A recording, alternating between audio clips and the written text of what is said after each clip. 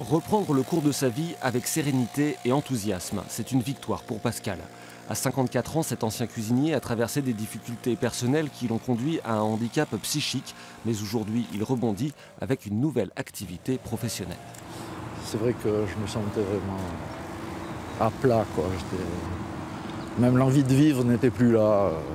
Et tout le monde a été là pour me redonner un petit peu euh, ma confiance déjà, le moral et tout. Maintenant, ça va très très bien, je dois dire. Pascal a repris pied au centre de réhabilitation psychologique de l'hôpital Esquirol à Limoges. Ici, on accompagne les patients avec des projets de formation ou d'emploi. Après un bilan médical et social, les participants accèdent à des ateliers variés. Cela va de la relaxation au code de la route.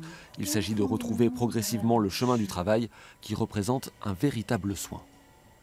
Ça donne euh, cette impression d'être utile à faire quelque chose, comme, euh, comme pour tout le monde. Euh, ça donne un réseau social, ça donne un rythme de vie. Donc tout ça favorise la stabilité puisque c'est des choses qu'on travaille dans, dans l'amélioration du handicap psychique. Et puis en même temps, bah, c'est un projet sur le long terme. Donc ça permet d'avoir une vision de, de l'avenir plus, plus espérante. Travaux pratiques avec l'atelier d'activité thérapeutique. Nous sommes dans une future maison de retraite pour éléphants dans le sud de la Haute-Vienne.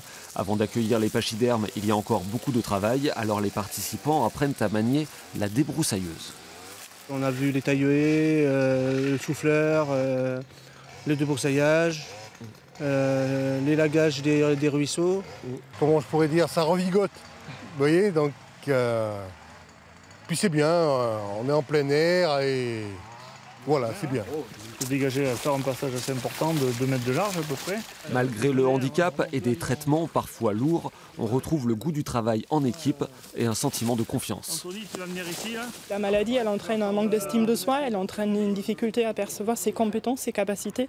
Et le fait de se mettre en situation, ça permet justement de voir qu'on est capable de faire des choses et qu'on est potentiellement capable de travailler. Et donc ça redonne de l'espoir, ça redonne une envie, une motivation à travailler, à concrétiser un projet professionnel. Après plus d'un an de fonctionnement, le dispositif a montré son efficacité.